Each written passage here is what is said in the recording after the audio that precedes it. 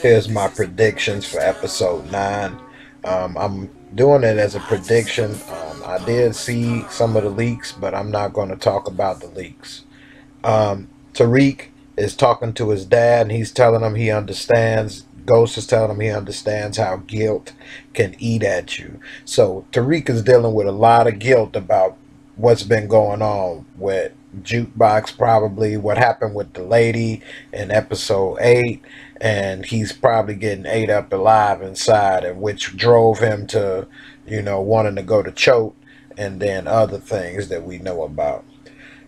Tasha's still messing with terry and she's telling terry that when i get divorced from james i'll be independent and that you know as long as his legit money comes in, she'll be okay. So she's, you know, trying to get rid of him and take money. Simon Stern is telling him learning who to trust is a valuable skill. And so he's telling him that a lot of people around you aren't trustworthy, including more than likely himself. The reporter lady is still in the picture. I think that Ghost, when he finds out about Tasha and Terry, may start messing with her. They showing Alderman Tate and he's very comfortable in the hood and he's probably got some shady ties himself and trying to play good just like ghost is shady trying to play good. We see this fire and it's inside of tommy's warehouse. So i'm taking it that dre is trying to destroy tommy's organization and you know steal the organization from under tommy's uh you know, from under Tommy. Tommy's talking to Tony Teresi in prison. He's saying he not the type of guy to leave his son or family behind. And it's eating away at Tommy now that all these years he was deprived of a father thanks to his you know, crackhead mama. And he's arguing with her and screaming back and forth.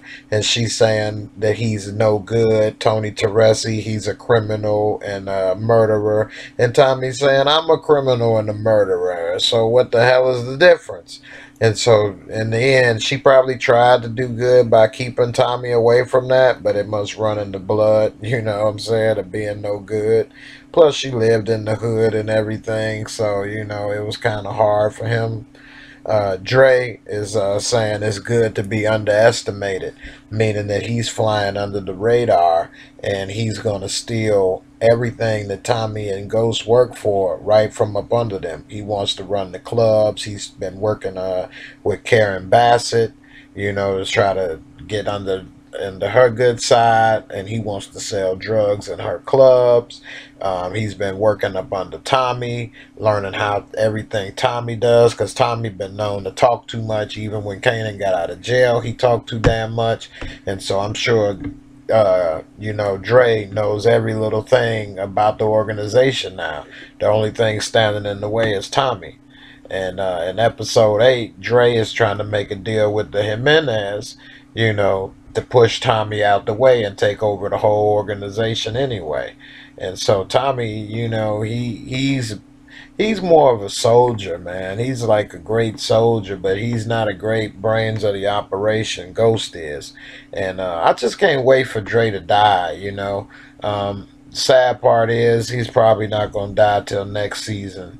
You know, but uh, he deserves to die for everything that he's doing. Um, they brought him out of out of, off the street. He would probably be dead already if he's still stuck with Kanan, or you know, he'd be selling dime bags in the hood. And now he's probably made almost a million dollars working with them already, and he just wants more, and he's going to kill them and push them out the way for it. Which I know that's kind of, you know, par for the course for that type of life.